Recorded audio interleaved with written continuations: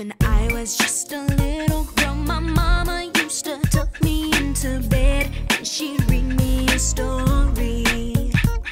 It always was about a princess in distress and how a guy would save her and end up with the glory.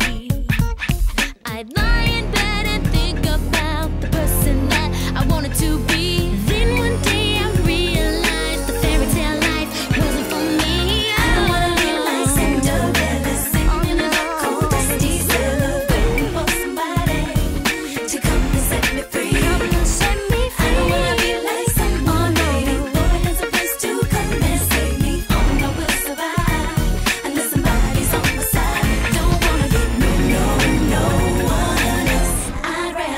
Rescue myself.